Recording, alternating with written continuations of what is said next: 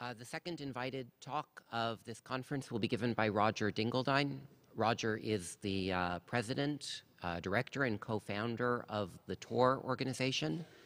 And um, uh, Tor, in case you don't know, is a widely used system for uh, ensuring online privacy. Uh, Roger? Okay. Hi, everybody. I'm Roger Dingledine um, from the Tor project, and I'm going to tell you a little bit about uh, the software that we've been working on and the project that we've, been working on. So there are a lot of different topics that I'm going to try to cover today. Uh, I'll try to mash in several talks into one talk, so uh, hopefully everybody will find something they're interested in, and I'll be around for uh, the rest of the conference wearing a bright green shirt so you can chat with me more if you have any more questions. So the basic idea of Tor is it's a program that you can get and install and run on your computer. And the idea is that you can browse the web or connect to other TCP uh, sites where somebody watching you locally can't figure out where you're going, somebody watching the website end can't figure out where you're coming from, and some person participating in the middle of the infrastructure can't link you to where you're going. So those are the three main uh, anonymity goals that we're working on. So in a, a, bigger picture, Tor is a variety of things. Tor is that software I was just talking about. It's also the Tor network. There are about 2,000 or 3,000 volunteer relays around the world right now who are relaying traffic for hundreds of thousands of Tor users. So we have an overlay network that's actually deployed and uh, much larger than Planet Lab. Uh, and it's also the Tor protocol. We have specifications that say this is how you can do uh, your own Tor client or your own Tor relay. And several other groups around the world have built their own compatible Tor clients. Uh, I really recommend multiple implementations. Uh, I can tell you more stories about that later. So one of the neat things about Tor is the community of different people around the world pretty much every city I go to these days, there's some university who has grad students doing Tor research. So there are maybe 50 or 100 people, uh, grad students, professors, all around the world who are working on Tor research right now. So part of my goal is to teach them what the real problems are so that they can uh, be more likely to solve mine. Uh, and then we've got developers and users uh, all around the world. Another interesting thing about Tor is the diversity of funding that we've had over the years. So we started out funded by the US Department of Defense. And then we were funded by the Electronic Frontier Foundation, the EFF. So even from that first step, we've got uh, two completely different groups who uh, never really think that they have anything in common. But in fact, what they have in common is they both want this security or privacy or anonymity online. And from there, we were, founded, we were funded by another uh, US government group called the International Broadcasting Bureau. You haven't heard of them, but you've probably heard of Voice of America or Radio Free Asia, stuff like that. So they have some websites that some people around the world can't reach, and they want to fix that. It turns out once you've built an anonymity system, meaning somebody watching the user can't figure out what destination they're going to, then you're also partway to a circumvention or anti-censorship system where somebody watching the user can't decide which websites they're allowed to reach and which ones they're not allowed to reach. So that is one version of Tor. Another version of Tor is we're uh, an actual 501c3 nonprofit American corporation. Uh, we were founded in 2006. We fund something like 10 or 15 people, mostly developers, to work on Tor. So we've got two main goals as an organization. The first goal is I want to build software to keep everybody in the world safe on the internet for all definitions of safe. And once I'm done with that, the second goal is I want to teach everybody in the world what it means to be safe and how to evaluate things like that. So right now we've got instructions saying, look for the lock in your web browser and then you know you're safe and uh, there's more work to be done there. so we've got some number of users, um, over 100,000, less than a million, uh, maybe 400,000 or something, of Tor clients running right now. It's an anonymity system, so it's a little bit hard to count uh, exactly how many users we have. So let's look at this from the threat model perspective. So we've got Alice over here. She's trying to browse the web or something like that. And we've got Bob. Where can the adversary be? The first issue, the adversary could be watching Alice. Maybe that's Alice's ISP, uh, maybe this is the uh, Tunisian telephone company monitoring all of its citizens, uh, maybe it's Starbucks. Uh, or maybe the adversary is watching Bob. Maybe they're really watching Indymedia, so they want to know who's connecting there. Or they're watching Gmail because uh, they're colluding with China. Or they're watching WikiLeaks because they really want to know who's publishing there. Uh, or maybe the adversary is Bob. Maybe it's CNN.com and they want to know who all their users are so they can advertise to them better. Um, or maybe the adversary is somewhere in the middle. Maybe it's AT&T or some other large backbone provider. So if the adversary is in all of these red boxes, we're screwed. We can't protect against that. So I guess this is, uh, I've, I've heard from a lot of crypto people who use the phrase threat model to define exactly the funny shaped adversary that provably cannot defeat their system.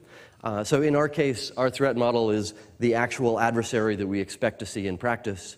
And uh, I'll explain later on why we can't uh, defeat somebody who's watching all of these different places. So anonymity is not encryption or integrity or other stuff. Uh, a lot of, I talk to a lot of corporations who say, I use a VPN, so I don't, I don't need anonymity. I'm all set, thanks. And encryption is good. You should use encryption. But even when you're using encryption, somebody watching your traffic gets to learn who you're talking to, how much you're saying, when you're talking. And that's what all the intelligence agencies use to try to break these things these days. Nobody actually goes after the crypto. It's all about let's build the social network and let's figure out who that person in the middle is, the one that talks to a lot of people and hears from a lot of people, and then let's break into his house and take his computer or whatever the next step is. And there are other variations on what anonymity is or isn't. Uh, there are a lot of peer to peer uh, designs on the internet that are based on plausible deniability. The idea is, yeah, you asked me for the file, and yeah, I gave you the file, but it might not have been me. I might have been relaying it for somebody else. You can't prove it was me. So there are a couple problems there. One of them is, uh, what about the 40th time you're the one involved in that transaction? And each time you say, well, you can't prove it was me this time either. Uh, statistically, that starts to look a bit weird. Uh, the other issue is uh, imagine you're a group of journalists in Burma and they've lined up five people and they're pretty sure it's one of these five, but they can't prove which five, which, which one of the five it is. That's bad news for all five of them. So I want something uh, where you can't even start to narrow down uh, which user you should be investigating more. And then there are a bunch of commercial single hop proxy systems out there. Uh, there was one called SafeWeb long ago, Anonymizer. There are a bunch of different examples. Uh, and the idea is it's one computer somewhere and it proxies all the traffic for people. And they say, we promise we won't look at any of the traffic.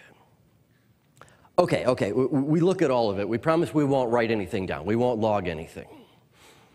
Okay, okay, we, we log everything. We promise we won't tell anybody what we see. I don't know what the fourth line is, but I want something stronger than that. I want something that's not based on trust.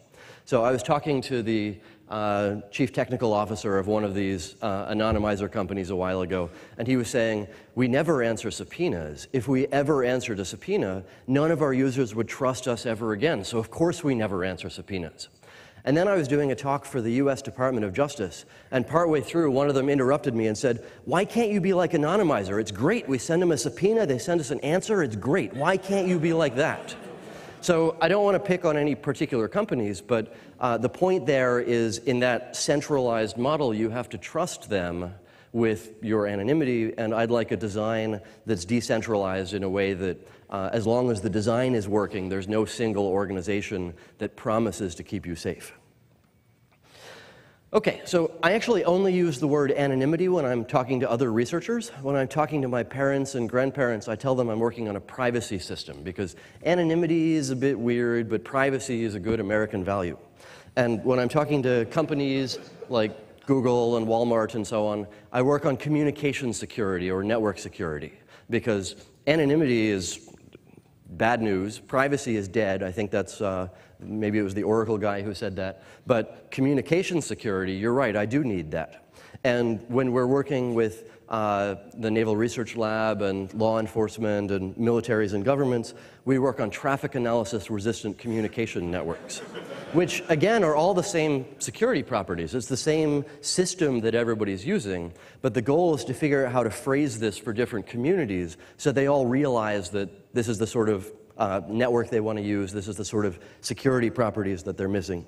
And then the fourth category that I'm going to be uh, talking about more today is the uh, human rights activist or journalist side, where for them, they don't mind the fact that uh, they can reach their destination safely, but for them, it's about reachability. It's about, I couldn't get to BBC, and now using tools like this, I can. Okay, so there are a bunch of different examples of why individual citizens and so on care about this sort of thing. I'm going to mostly skip over that so that I get to some of the more interesting stuff. So here are a few examples. Uh, maybe your insurance company uh, wants to learn about your browsing habits so that they can change your insurance premiums. Uh, maybe your ISP is collecting all of your click logs and selling them. Most ISPs actually are doing that right now. They just don't admit to it very loudly. Uh, businesses also use Tor. Uh, maybe you want to check out the competition's website without letting them know uh, which company is investigating them. Uh, what are your engineering department's favorite search terms? Google knows. Lots of other people know. Is that the sort of thing that you want to be broadcasting everywhere? Law enforcement uses Tor. I do a bunch of talks to FBI to try to teach them that I'm not actually the reason why their job is hard. And after each of these talks, one of them comes up to me and says, I use Tor every day for my job, thank you. So part of our uh, goal here is to get all these different communities into the same network so that they can blend together. And then governments also use Tor. Um, what would you bid for a list of Baghdad IP addresses that get email from .gov addresses? Does anybody else out there want that sort of information? Uh, what does the FBI Google for? Lots of examples there. And then uh, more to today's topic, journalists and activists also need this sort of thing. Uh, for example, let's say uh, you're in Iran and they're monitoring uh, all of the users to connect out, and they say, Are you the one who just posted to that blog? Because uh, we're trying to figure out who is making comments or who's, who's running that blog discussion. Uh, or maybe the website end is monitored. Uh, there's a, a scary example where, so everybody here know about livejournal.com, I hope? Sounds good. So LiveJournal is a popular blogging platform, and it has a thriving Russian activist community. So if you live in Russia and you want your country to be different, you're on LiveJournal talking about making it different. So a few years ago, a really rich guy in Moscow bought all of the ads on LiveJournal, which means every time you load any page on LiveJournal, you tell Moscow who you are and which page you're loading. And nobody really cared about that. And then a few years later, some other really rich guy in Moscow bought the company. So now the KGB operates the company in which the Russian activists are trying to coordinate. And they can't build the activation energy to move off. So that's kind of a sad story. Um, another example is yahoo.cn. Uh, a couple of years ago, there was a user who had a yahoo.cn email address uh, from inside China. And China went to Yahoo and said, Tell us who this user is because we want to make them a better citizen. And Yahoo said, Why, of course. You are a government. We follow the laws of all governments. Here's your user. And then a bunch of people in the US got angry about that. And now there's sort of a shift out of keeping your servers in China. Now they're in Taiwan or Hong Kong or Singapore or something. Uh, I imagine eventually we're all going to creep back so that all the servers are in Iceland. I'm not sure how to solve that particular problem. Okay, so the big picture is you can't get anonymity by yourself. I remember talking to IBM long ago, and they said, Well, this is great, but I want to run my own anonymity system where only IBM people use it. And that means that anybody who pops out of that system, you know they're an IBM person. So the goal is to blend them all together uh, so you can't tell whether it's uh, an FBI person or a Russian activist or an American citizen or, or so on. So far, so good? Okay, and bad people need anonymity too. But if you're willing to break the law, there are a lot of other ways of staying safe on the internet. So a brief taxonomy of bad people, which is a separate talk. You start with your Trojans and your viruses and your exploits, and from there you break into millions of computers, and from there you profit. So I, I periodically talk to law enforcement who say, but what about terrorists? Terrorists could use your tool, and you're enabling them. So let's take a step back. Scenario one. I want to build a tool that works for a million people. It's going to work a year from now, and I can tell you how it works so you can help me evaluate it. That's Tor's problem. The bad guy problem is I want to build a tool that's going to work for 15 people for the next two weeks, and I'm not going to tell you about it. There are a lot more ways of solving scenario two. So the, the story about the 9-11 hijackers was somebody walked into an internet cafe, uh, I'm sorry, somebody walked into a library, they logged into their Hotmail account, they drafted an email, but they didn't send it, then they walked out. Somebody else walked into a different library, logged into the same Hotmail account, pulled up the draft, no email was sent, so no email was logged. There are a million little tricks like that. I go to eBay and start a flame war. I mean, there are a lot of different ways of communicating if nobody knows what the plan is. So the goal for Tor is to build something that scales, that we can be transparent about, and that's going to work for a long time. Um, so the current situation is the bad guys are doing great on the internet, and the good guys have very few options. So I'd be happy to chat more about that one uh, later on. If you're one of those ooh ooh ooh Tor is for bad people, uh, people I'd be happy to talk to. Okay, so how do you actually build one of these? Uh, the simple answer is you have that computer, the central centralized proxy, and all of the users go to it. If they're very lucky, they use SSL or some sort of encryption, so somebody watching Alice doesn't learn her destination immediately.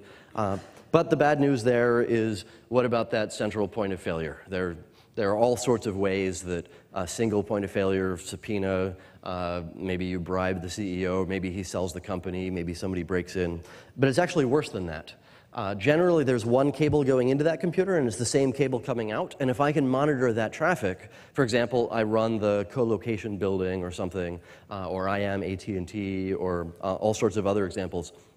If I can see the traffic coming in and the traffic going out, then very simple statistics lets me match up incoming flows to outgoing flows. And at that point, I, I, I, break all of the anonymity of all the users because I say, this flow has these certain timing and volume characteristics, and this flow has matching timing and volume characteristics, so I'm a winner.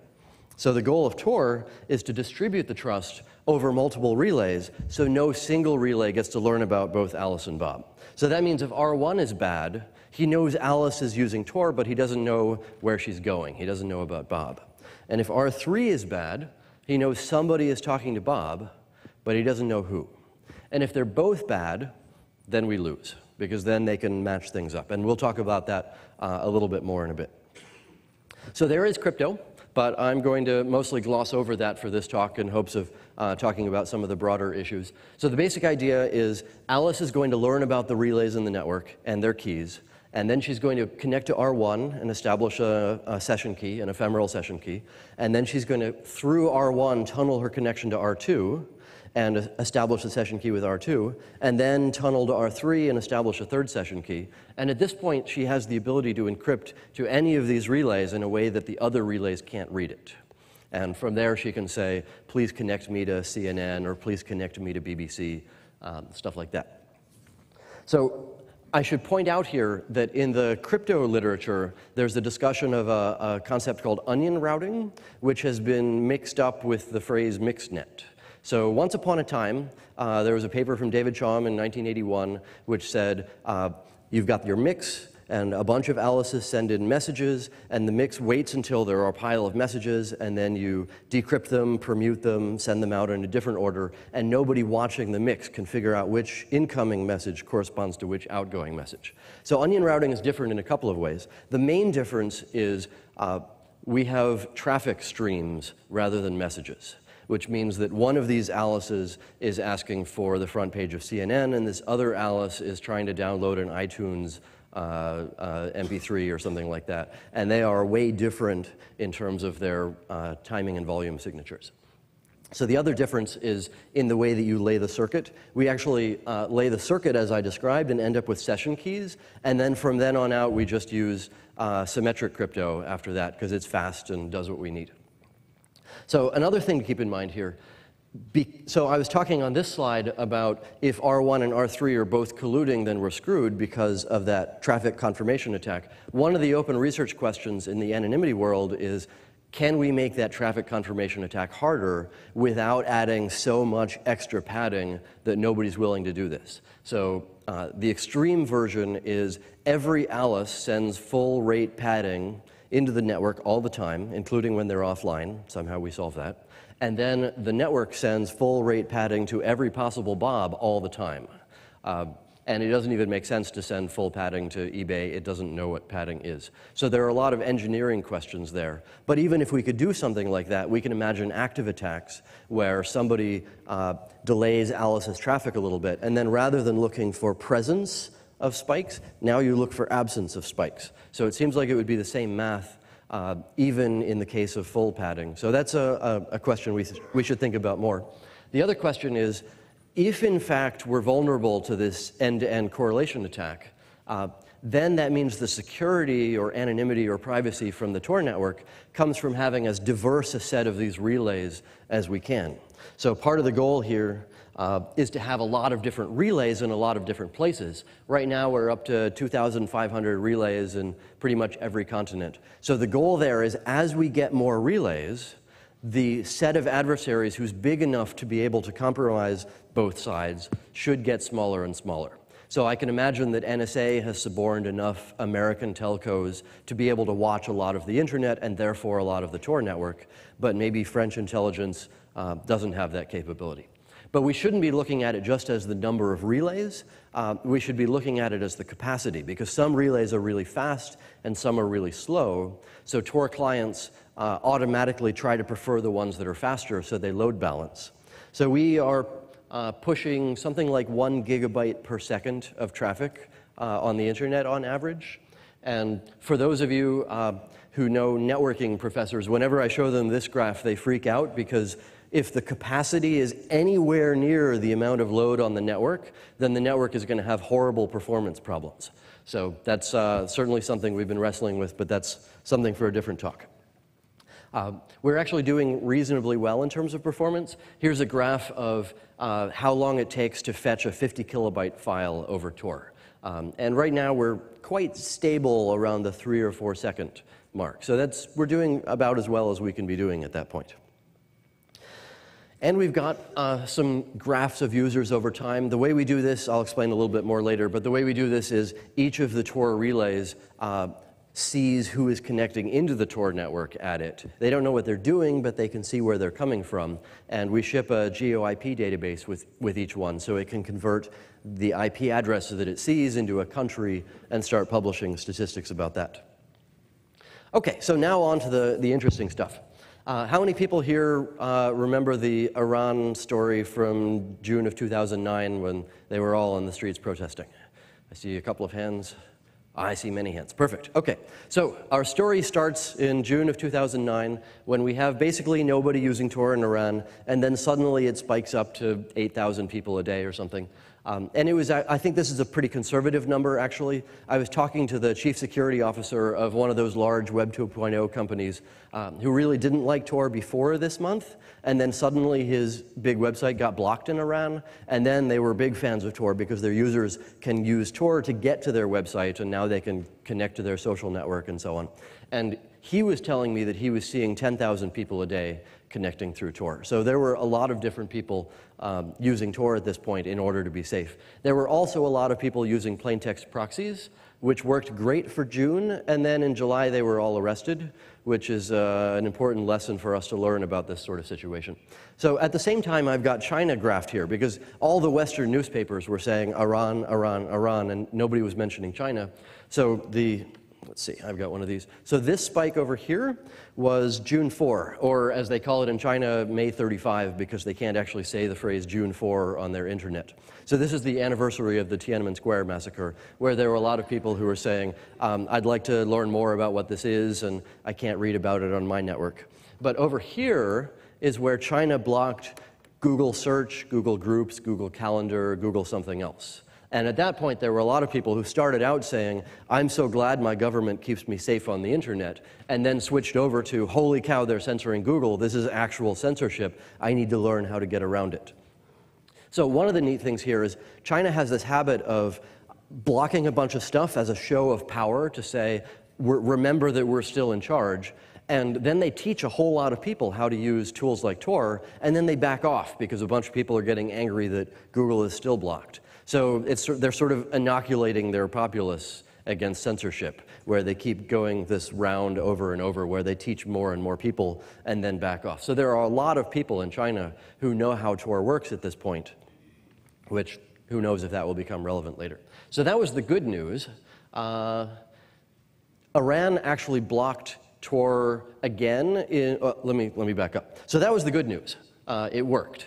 Tor worked in Iran in 2009. But in January of this year, uh, Iran had caught up in terms of technology and they'd figured out how to block things like Tor. Uh, so they bought some very fancy boxes from Nokia that do deep packet inspection and they could recognize SSL flows. They basically have a knob to turn down the bandwidth that's allocated to SSL flows. And in January of this year, they figured out uh, how to actually recognize Tor flows on the wire. So there are a lot of different ways you can block Tor. The way that they did it was not at all what, what I was expecting. So they first do deep packet inspection to look for SSL flows, and then they, they search those flows for our Diffie-Hellman parameter P and block those flows. So boy, was that not what I was expecting them to do for their first attempt at blocking Tor. So that worked for a week or so in January. So here's a graph of the number of users uh, who were connecting to the Tor network over time in January. Um, the red dots are a seven-day moving average of, gosh, that's way lower than it should have been. And the blue dots are a seven-day rolling average of, that's higher than it looked like it was going to be. So we've got a, a blocking right there. The interesting thing here, so we fixed it in a week or two. And right here was when there was a huge uh, pile of people on the streets protesting. There had been a scheduled uh, protest, and Iran knew about it, so they worked really hard to block a, a, bunch of different circumvention tools, and we managed to fix ours before that. So there were 60,000 people connecting to Facebook to figure out where they should be going, and then more than a million people coordinating out of that. So there were a lot of other tools that didn't recover in time, which means there are a lot of people in Iran right now who know a lot more about Tor than they did before. Okay, so that was another sort of good news. We, we dealt with it, we fixed it. Here is uh, September 25, 2009. Here's one Tor relay uh, and how many users it was seeing from China. So basically, China uh, managed to block the entire Tor network by IP address.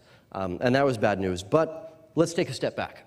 So how do you actually build one of these circumvention tools? There are actually two components to all these things. There's the relaying component, which is how do I build my paths? How do I get, how do I get my encryption right? How do I do flow control and all of that? And then there's the discovery component, which is what do I connect to? How do I learn about the network topology? And I've been mostly focusing on the relaying component so far. That's what Tor spent most of its time working on. But from the discovery side, we have a very simple uh, distributed directory system. So there are eight directory authorities, and each of them tries to, to figure out its own view of all the relays. And every hour they publish a consensus, and they all sign it, and then all the clients get that consensus. And that means that all the clients have the same view of the network, which is necessary if you're trying to be anonymous together. Because if Alice 1 has one view of the network and Alice 2 has another view of the network, then you end up uh, being partitionable based on the choices that you make and the paths that you build. So we have this big central thing, um, and it works fine, except the consensus includes a list of all the IP addresses of all the relays. So the first way you can block Tor is you block those eight directory authorities. They're hard-coded in the Tor software. And that means that nobody can bootstrap. You download Tor, you run it, it tries to connect to one of these eight, it doesn't work, it gives up. Uh, and China did this in September 2009. The second way is you block all the IP addresses that are in that big list. China also did this in September 2009. Uh, the third way to block Tor is based on protocol fingerprint. For example, what Iran did in January 2011. Um, and then the, the last way is you block our website. So there are, for example, uh, torproject.org was blocked in Thailand for a long time, uh, and it's blocked in a lot of different countries at this point. So there are a lot of people in Thailand who are saying, well, that was nice while Tor lasted, but the website's gone, so I assume the tool doesn't work anymore. And the, the program works fine, but you can't get to the website, so they give up. And we've got an email autoresponder where you email gettor at torproject.org from your Gmail account, and then we send you the Tor binary and you download it. So there are other ways of getting Tor, but it's really hard to communicate this to the people who need to know about it. So the fix that we have for all these different ways of blocking is what we call bridge relays. So the idea is we've got a bunch of users out there who are running Tor. We've got hundreds of thousands of users. What if we sign a few of them up as bridges or dark relays or hidden relays? And the idea is the user will connect through, the, the blocked user will connect through this bridge to the Tor network. And we've changed the arms race now. The, the, the, the, earlier game was how do I give 2,000 public IP addresses to all of our users without China learning them, which is an impossible problem. The new arms race is how do I take this list of bridge addresses and give them out one at a time to the good guys without letting the bad guys learn all of them? And that turns out to be a hard arms race, but it's at least a little bit ma more manageable. So how do you actually give out the bridges? Uh, there are four ways that we're giving them out right now, and we need more smarter ideas about this. So the first one is you go to the website, bridges.torproject.org, over HTTPS, and we look at where on the internet you're coming from, and we give you a few answers. So that means everybody's going to get a few bridges, but if you want to learn all of them, you have to come from a lot of different places around the internet. China also broke this one in September 2009. So they learned about our public IP addresses, and they enumerated all the bridges that they could find. Uh, but they didn't break the second one, which is you email bridges at torproject.org from your Gmail account, and then we send you a few. And if you want to learn a lot, you have to make a lot of different Gmail accounts, which uh, Google has incentive to make hard because they're already battling all the spammers and phishers and so on. So China actually waited until March 2010 to break this one. I don't know if they found it harder to break or if they didn't notice it the first time around uh, or if they felt like they did a good enough job uh, that they didn't need to break the rest of them. So from our perspective, we had two main ways of giving out bridges and China blocked one of them and then I'm like, oh dear, I've got only one left. Surely they're going to break that one tomorrow. What do we do? We actually had a, a reserved set of bridges, uh, which we hadn't given out to anybody. Our plan was if everything goes bad, then we're going to quickly come up with a brilliant new bridge distribution design and then start using it. Uh, so at that point, I sent mail to a friend of mine in Shanghai and said, here are 40 bridges. Please do something smart with them. So he set up a password protected Twitter account, signed up his 1,200 closest friends, and tweeted bridges every couple of hours. And those bridges had tens of thousands of users each. So there were a lot of people using uh, those bridges, which is good. I would have liked something a little bit uh, less centralized, but uh, at least the people who knew this guy could continue to have connectivity. So the third approach, uh, I mail this guy in Shanghai every day a new set of bridges, and he does something with them uh, I don't actually care what. He uses his social network somehow to answer people who need bridges. And then the fourth approach is you can run a bridge by yourself. You don't have to tell us. We don't give it out. You give it out. So we're working with a lot of uh, human rights groups in China and other places so to teach them how to run bridges for themselves and then give them to their users in country. So they've got a lot of members in the US who run bridges tell those bridges to the nonprofit, and then the nonprofit shares them, and we've got nothing to do with that. So back to this story. Um, on that day, September 25, so they were actually blocking because October 1, 2009 was the 60th anniversary of some guy becoming in charge in China. So they really wanted to prepare for uh, whatever was going to happen by blocking a lot of different circumvention tools and censorship resistance tools and stuff like that. Uh, so they blocked a lot of things, but we'd already prepared for this. We knew it was easy to block Tor. So we'd already put out the bridge design, we translated into Chinese, we said, they're going to block Tor eventually, and when they do, here's what you do. You need to get a bridge. And the result was, over the course of a week, 30,000 people switched from using Tor directly to using a bridge. So that was, that was pretty cool. It felt like our, our first uh, little scuffle with China worked out pretty well. Um, unfortunately, we don't have enough bridges, and they don't change often enough, and we don't have smart enough ways of giving them out. So right now we've got maybe 800 bridge addresses, uh, and that means that most of the bridges are now known by China, at least the public ones. There are private ones that we don't know about, which are doing better. Um, but in terms of the ones that we give out in an automated way, uh, bad news. So I started out saying, we need to get lots of bridges so China can't block them all. That was the wrong statement to make. The correct statement, in retrospect, was we need the rate of change of our bridge addresses to exceed the rate that China can sustain blocking them. So it's about changing them over time. It's not about getting a lot and then hoping you have enough. Um, so another way of looking at that, when you're, when you're volunteering to run a relay for the Tor network, the primary property that you're, you're contributing is bandwidth. The more capacity you have, the better you are for the network. But when you're volunteering to run a bridge for the Tor network, the primary property that you're donating is your IP address. And if you have one, and China's pretty good at learning them, then they're going to learn that one, and then you won't really be very helpful anymore. So we'll get back to that one in a few more slides also. Okay, so what else is going on? Uh, does everybody know about the whole Middle Eastern, Tunisia, Egypt? I hope you've been reading the news over the past couple of months. Sounds good. So these blue dots up here are when you were reading about Tunisia in the news. There were a lot of people in Tunisia who were saying, uh, something's going on, maybe I want some safety, uh, my friend just got disappeared, I want to be able to learn what's going on and tell people what's going on in a way that keeps me a little bit more safe. And then there's Egypt, which, uh, so this right here is when they blocked Facebook in Egypt. And then there were thousands of people who said, I'm going to get to Facebook through various circumvention tools. Uh, and some of them decided that Tor was a good one because they would be kept safe.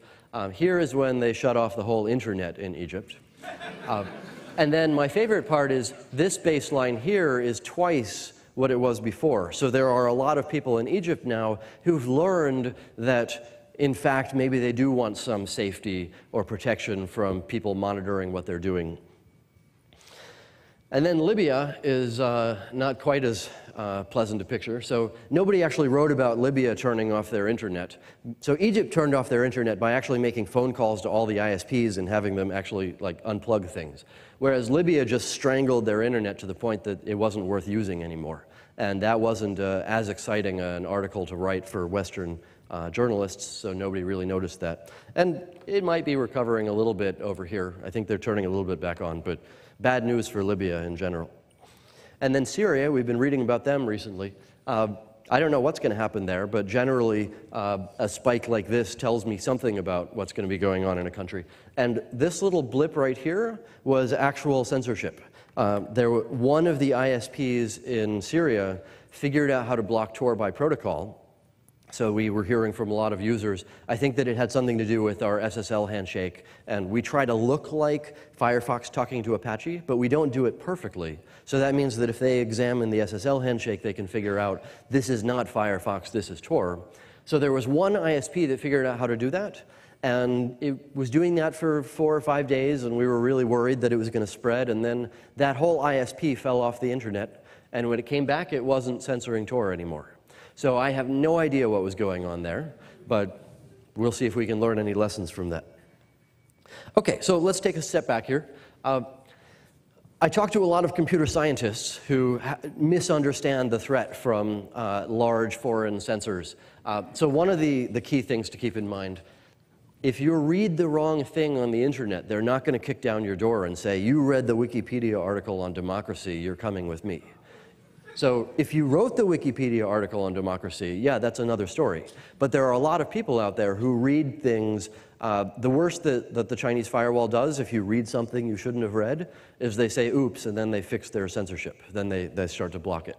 Uh, they don't start rounding up people who read the wrong thing. Uh, at the same time, censors have a, an economic, political, social incentive not to block the whole internet. So I started this thinking, if I make China turn off their internet, did I win or did I lose? And the answer is China is not going to turn off their internet. They've got too much at stake. Uh, but there are collateral damage situations. a couple of years ago, uh, there was somebody in India who read some blog post from Pakistan, and it was, it was religious. And the, the fellow in India said, We have to censor this blog post, or we're going to have a war on our hands. So the guy in India sent mail to the seven major ISPs in India saying, can you block this uh, web page for us so that ev everybody will stay peaceful?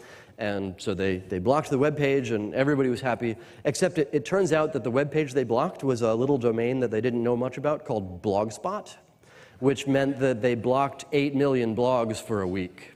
And there were a lot of people in India saying, wait a minute, I live in a democracy. I thought, I thought I was free here. How are they censoring the internet? That's a story I hear over and over. I remember uh, long ago getting email from people in Thailand who were saying, they blocked torproject.org. I live in a free country. I'm going to sue.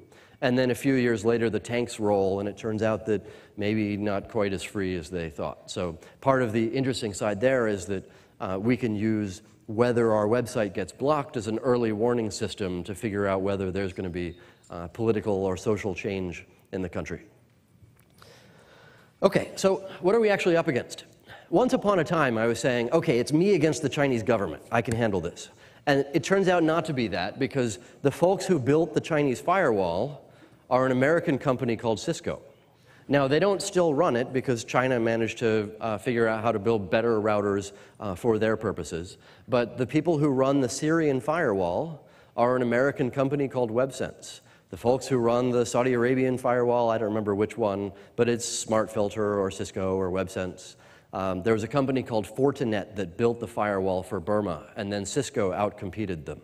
So part of the challenge here is that it's me against 2,000 PhDs at Cisco who are trying to figure out how to censor employees of American companies better. So Syria can't actually afford to buy this stuff. If Syria goes to Cisco and says, build us a censorship system, Cisco is going to say, that'll be a couple hundred million dollars, and Syria will say, I can't afford that, never mind, we don't need it.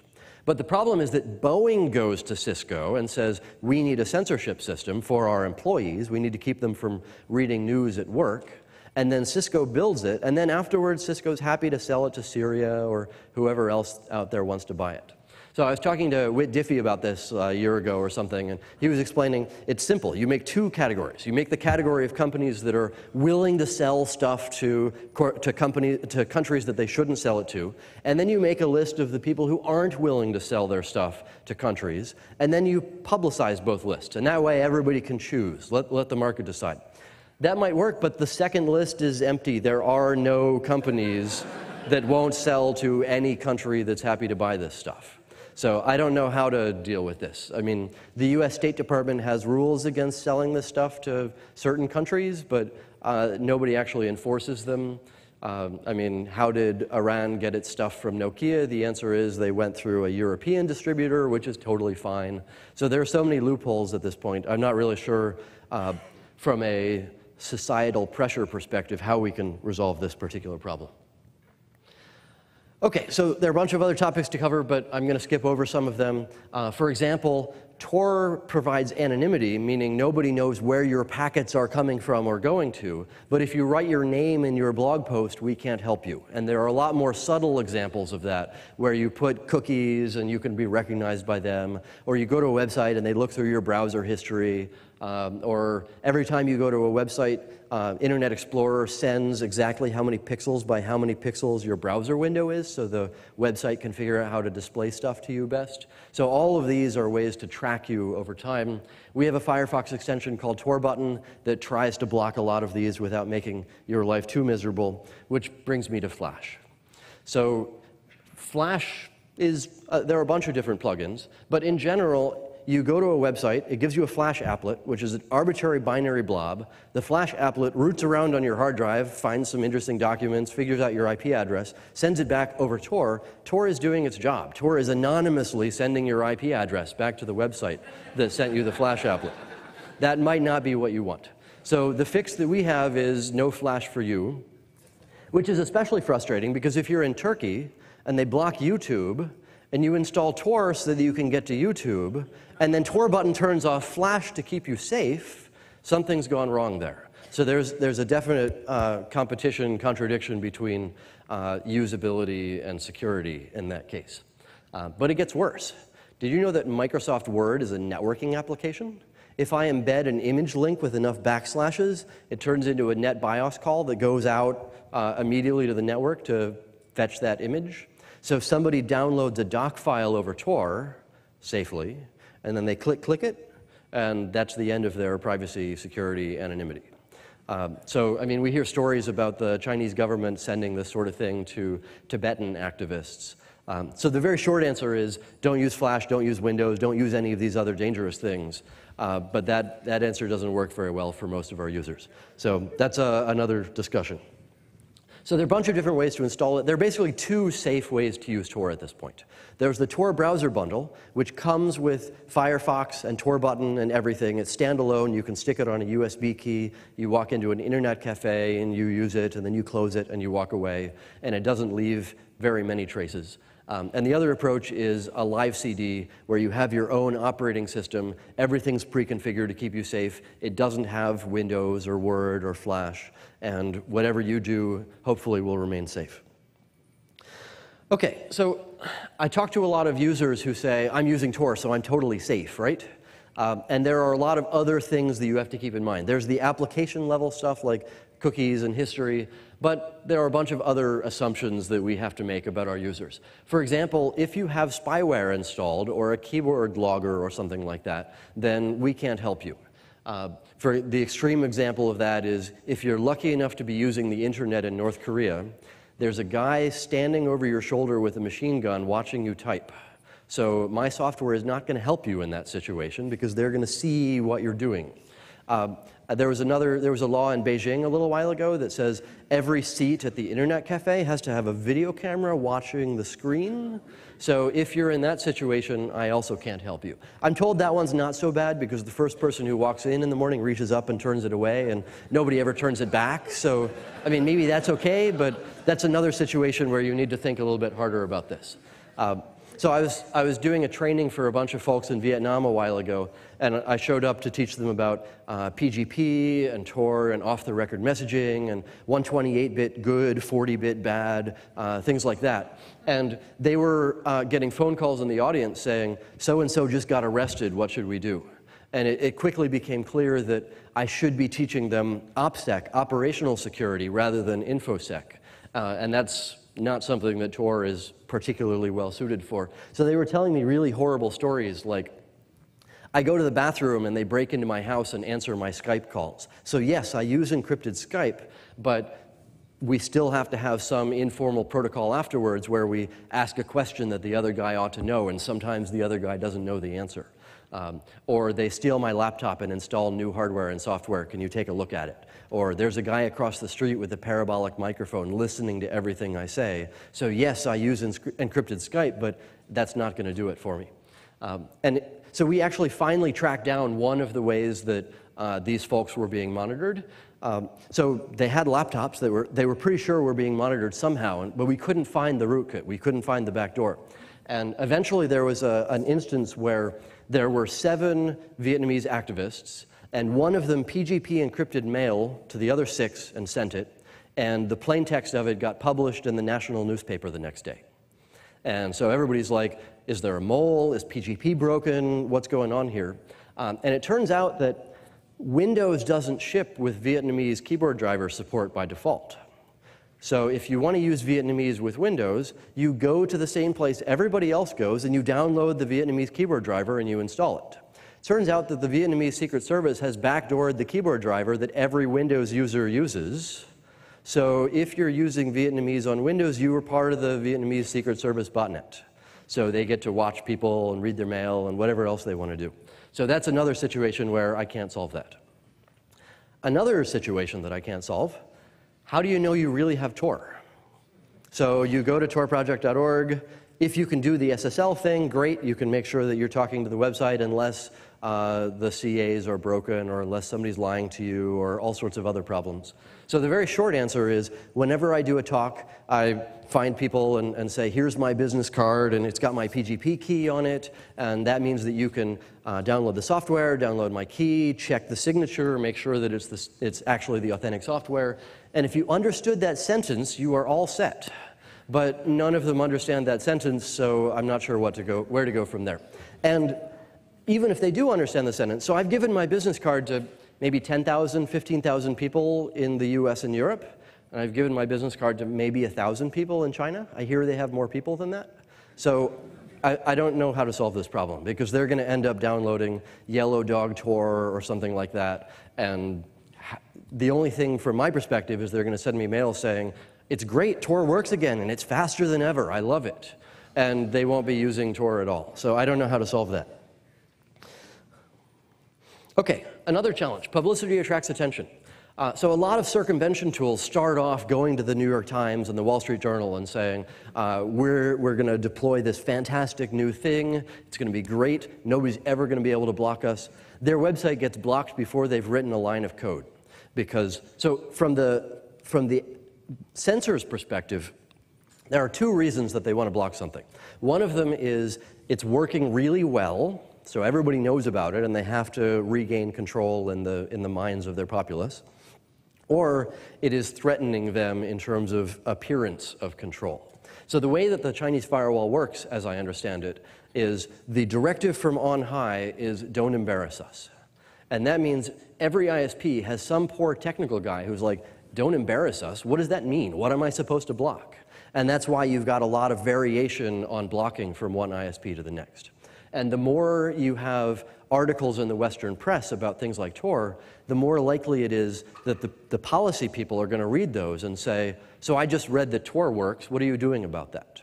So part of our strategy is to avoid having popular articles like that. And that means that they don't get any pressure uh, from above. So we were talking to the folks who run the firewall in Bahrain, and they use Tor, so they don't want to block it. So their, their job is to keep their job without, you know, doing too much uh, to ruin the internet. Most technical people don't like censorship, even the folks who operate firewalls. Okay, so there was another uh, fuss a couple of years ago where Hal Roberts from the Berkman Center ended up doing a blog post where he was looking at a different circumvention tool and he found their frequently asked questions list. And one of the questions was, do you sell user data? And the answer was, paraphrased, yes. And the more you pay, the more fine-grained the data is. And there was a big fuss because a lot of their users are like, hey, I'm using you as a circumvention tool. Surely you're keeping me safe. And the answer was, we're a circumvention tool. What does that have to do with safety? We let you reach BBC of course we log everything and sell it. How, how else can we make money? So there's, there's a, a big clash right now between various designs where, from Tor's perspective, if you're going to let somebody get around censorship, you need to do it in a safe way so that nobody can figure out uh, en masse who's doing it. But there are a lot of other VPNs and other stuff that are um, that only focus on the circumvention side. Australia censors.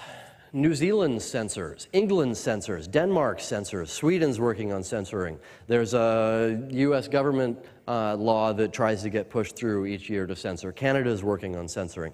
So there are a couple of problems here. The first one is when the US State Department goes to China and says, you're a bad government because you censor the internet, then they turn around and say, we're just keeping our citizens safe just like everybody else does. England keeps their citizens safe. How come you aren't picking on them? So part of the challenge here is pretty much uniformly the way this works is uh, the government decides they need to censor something bad on the internet. So they build a censorship infrastructure, and then they have some sort of quasi-government organization in charge of deciding what people in that country aren't allowed to look at.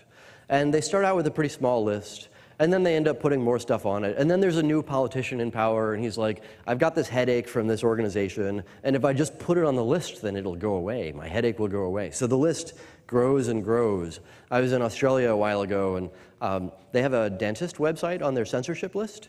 And I think the way that it happened was he had malware on his website. Somebody broke in, somebody put something on it. So they decided to put the website on the censorship list. Turns out there's no way to get off the censorship list. They never bothered thinking about that side of the equation because clearly we'll only put bad things on the, web, on the censorship list. So there's a, a, group in England called the Internet Watch Foundation, and they sent me mail a while ago. They're, they're the group in charge of building the UK censorship list. And the mail that they sent was not what I was expecting. A lot of people would say, you know, surely they're trying to hassle you into either giving up your users or disappearing or something. Their question was, how can we make Tor faster? And that's because they use Tor to check out the internet. Uh, a bunch of websites have realized that if you're coming from the Internet Watch Foundation's IP address, you don't give them the stuff they're looking for. So they need an anonymity tool in order to be able to do their job. Okay, so there are, there are a bunch of different uh, advocacy and education sides of this. Um, I spend a lot of time in DC talking to policy people to try to teach them about the internet and security and stuff like that. Uh, and once I'm done teaching them, they go get a better job, which makes this particularly challenging. So part of what we need to do is teach a bunch of law enforcement and journalists and other policy people uh, about bad stuff on the internet and bad policies they're heading towards. Uh, that's also a separate talk. We have uh, an EAGER from NSF to uh, figure out how to collect uh, statistics about the Tor network and its usage in a way that doesn't hurt users, and then give everybody the data. Those graphs that I was showing you before uh, come from that sort of thing. Um, so we've got a bunch of data that nobody's really looking at, um, and we have some algorithms for making sure that it's safe that nobody has really evaluated. So I'd love to chat with you more about that um, to see if you can de-anonymize our users uh, or something like that. Okay, so Technical solutions are not going to solve the whole problem here. The problem in China is that a lot of the people there say, I'm so glad my government keeps me safe on the internet. So it's not about building a better circumvention tool until everybody's free. You need to change society as well. And there are plenty of people in China who are working on that. I remember long ago, I was, uh, there was some journalist of the San Jose Mercury News who uh, called me up, and her question was, So, how are you doing against China? And I'm like, wait, wait, wait. I'm writing software. There are people in China who know how China should change. I have no idea how China should change. It's, it's not up to me. It shouldn't be up to me. I provide tools to let other people around the world change the world in the way that, that they think it should be changed. So at the same time, those people need some sort of uh, security while they're doing it. Uh, you guys should all run relays. Uh, every relay has an exit policy that lets you uh, decide whether you're going to allow web browsing or other stuff. So if you run a non-exit relay, all you're doing is contributing bandwidth and making the world a better place. You're at a university, you're in a perfect position for doing that. Okay, so what are some of the, the technical stuff that we're messing with uh, towards the end of the talk? So we've got this bridge distribution system. So we've got 800 bridge addresses and we've got those four strategies I was talking about through HTTPS or Gmail or I send it to a guy in Shanghai. Step one, we need to figure out how much use each bridge is seeing. And we're actually doing that right now because the bridges ship with the GeoIP, uh, GeoIP database and they publish, I saw this many users from China, this many users from Tunisia, this many users from Egypt. Step two, we need to figure out when the bridges are blocked. That turns out to be harder than it sounds because we need to learn at what point this bridge is no longer reachable from some IP address that I can't easily test from. But once we've got those two, then we can imagine having a bunch of different distribution strategies. We've got the email one, or the website one, or a guy in Berkeley, or a guy in Shanghai, or a guy over here, and you can sign up to be a distribution strategy. And then we can start coming up with metrics where we say, um, if your bridge doesn't get blocked for a long time and it has a lot of use, then that, that distribution strategy scores a 10. But if it gets blocked quickly or doesn't get much use, then it scores a 2. So we can start adaptively rewarding the strategies that work well and dynamically give out more, more bridges, more addresses to the ones that are more efficient. Uh, I could imagine that we could start automatically recognizing which individuals are good at getting bridges into the hands of the right people. Um, so we need more bridge addresses. We need them to change more often. We need better distribution strategies. Uh, and I was talking to Dan Boneh about a design that we're working on called flash bridges. The idea is uh, you get a bunch of users around the world to go to a website. It gives them a flash badge, which is a little program that turns them into a bridge. So at that point, we would have millions of users running bridges, but for very short periods of time, um, which produces lots of open research questions, which is exactly what Dan is excited about. So measuring re bridge reachability, uh, there are a bunch of different ways, but I'll have to cover that one afterwards. Other stuff to think about, traffic camouflaging. So right now, we try to look like SSL on the wire. We try to look like an actual SSL handshake. But we can't be exactly like SSL because Firefox uses the libNSS library, whereas we use OpenSSL, which means that we're going to be offering a different set of cipher suites and other stuff that can make us distinguishable. So right now we've been working on hacking OpenSSL to make it pretend to be looking like Firefox. Uh, that arms race sucks. We're, we're losing it. So the next step is what would happen if we ship another proxy that adds another layer of encryption on top so that we just look like complete encrypted garbage out of the gate. So there's no handshake at all. For the, the simple intuition is Alice sends some bytes, Bob sends some bytes, you XOR them, that's your session key, and then you talk from there. Um, so at that point, the deep packet inspection tools aren't going to work anymore, is that going to be enough to win the arms race for a while? What other, so the next step is let's try to actually look like HTTP. We can imagine some distribution of what people looking like HTTP would be. Maybe we put our message in the cookie, maybe we uh, do some sort of binary thing, maybe we hide it stenographically. Um, there's a question about how much efficiency and overhead we can have there. But at the same time, we need obfuscation metrics.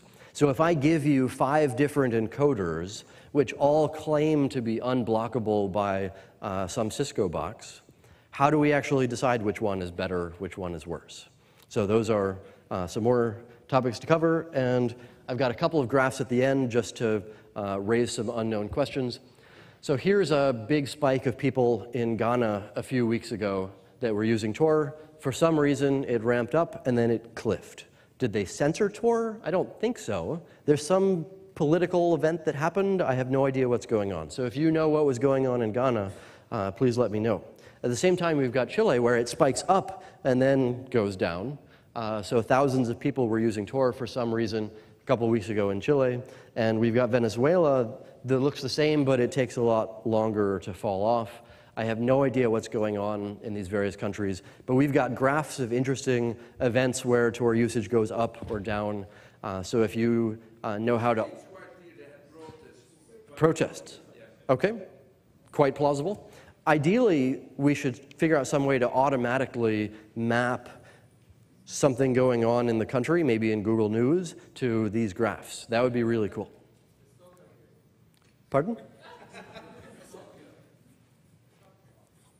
Okay, so I am 25 seconds out of time, and I think we have four minutes left or something for questions, or should we let them go to lunch? Uh, I, I think we should take questions. Let's Okay. first thank our speaker.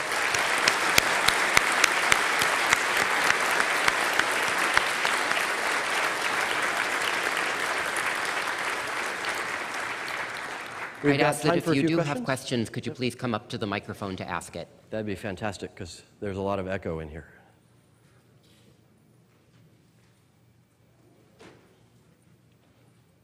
How can we ask questions and the neighbors sleep? Uh, you'll have to route it through your neighbor. Roger, can you tell us a few words about relation between Tor project and WikiLeaks?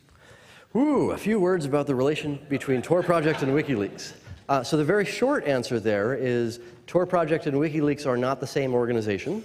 Um, Tor writes software, which a lot of or, lot of different people around the world use, including WikiLeaks. So WikiLeaks made use of Tor. Um, it was the recommended way of safely getting stuff to the, to the WikiLeaks website. So part of the challenge there was a lot of journalists really wanted to mush them together. So we got a lot of calls over and over saying, uh, hi, we're from the New York Times, can you give us a statement about WikiLeaks? And then we had to explain, actually, maybe you should talk to the WikiLeaks people if you would like a statement about WikiLeaks. So hopefully that answers that. There was a case a few years back where somebody added his own relay to Tor and, and found a lot of Iraqi, Iranian embassy pass, passwords. Can you comment? Yes, so the embassy password thing. So a couple of years ago, there was a guy in Sweden who went to as many journalists as he could find and said, I have hacked the internet. It's great, and I'm not going to tell you how I did it. So then all the journalists had to produce newspaper articles saying, Swedish hacker breaks internet, brilliant hacker won't say how. And then a week later, he went to all the journalists again and said, I did it by running a Tor exit relay. And it turns out that not all the Tor, not all the Tor users use end to end encryption, so I could see their password when they were logging into their POP server or something like that. And then all the journalists were forced to produce another round of publicity. Uh, brilliant Swedish hacker uh, snoops Tor network, learns passwords. Uh, and he ended up winning, I think he won like the Hacker of the Year award in Australia. And that same day that he won that award, he got arrested in Sweden and all his stuff got taken by the Swedish law enforcement. I was meeting with Swedish law enforcement, um, I, I guess it was a year ago or something, and I was asking them about this case, and they didn't want to specify because it's an ongoing case.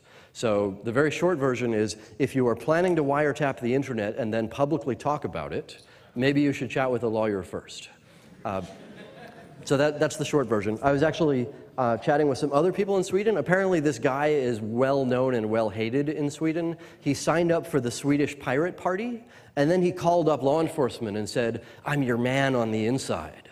Uh, except Sweden's actually kind of small, so Swedish law enforcement called up the Pirate Party and said, Apparently, we have a man on the inside.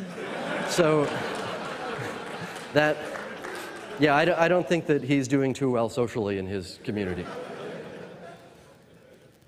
Other questions? Uh, are there any analysis on uh, what sort of uh, traffic is on uh, the exit servers? I um, was on the Privacy Enhancing Technologies conference once, and I got uh, one uh, opinion from a pe- person who ran a relay, which seemed to be pretty biased, and he said that he had run uh, the proxy for a few months and uh, looked uh, at what was going on, um, and said that it was almost all pornography, and especially uh, much child pornography. Uh, but um, well, I know uh, I, I work on privacy domain, so fields I don't. I'm not against uh, Tor at all. Uh, um, but um, I, I think some people has uh, such an opinion, uh, even on the community. Uh, and uh, well, I, I want to know what was your opinion, or if you have some data, more large data on, on this subject. So the first answer is the median connection over Tor is web browsing, and the median byte over Tor is file sharing. So that leads us to a performance discussion about how do you squeeze down the file sharer so there's space left on the network for other people. In terms of what people are doing, nobody's actually done a, a formal study on that, mainly because there are wiretapping laws, uh, or the EU has its own equivalent of that. So you can't really look at what's coming out of your exit relay without breaking the law. Uh, so the, uh, we've got anecdotes. We've heard from lots of different people who are using Tor for various uh, good reasons. Um, I've also heard from the FBI Innocent Images Unit that they use Tor in order to try to hunt down bad people. So I've heard from a lot of different law enforcement groups that need systems like Tor in order to be able to do their job catching child pornographers. Uh, but that's certainly a, a longer discussion that uh, we could have later. My, my very short answer is let me tell you about all the good uses of Tor. If you want to, if you want to make bad people disappear from the internet, that seems like a hard challenge to do. For the first couple of thousand users, they were all technical people for Tor, but now that we've got hundreds of thousands of users in Tor, we have a snapshot of the internet. It's sort of a, a cross section of the internet.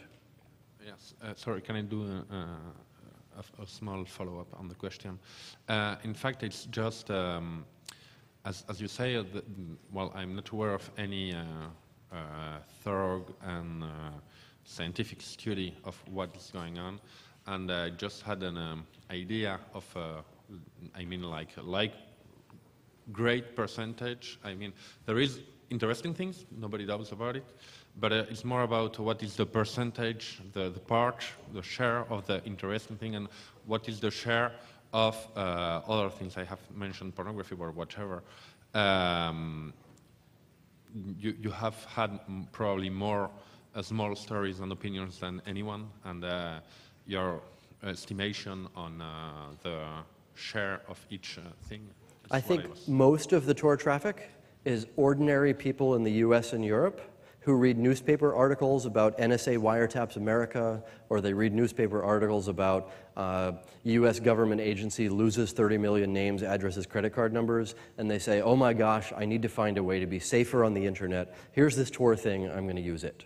So I think the way that we get to hundreds of thousands of users is by having almost all of them be ordinary citizens caring about civil liberties and freedom from being stuck in some huge corporate database and then lost. So, I suggest we continue our uh, discussions over lunch, and let's thank our speaker again Thank for you. his wonderful talk.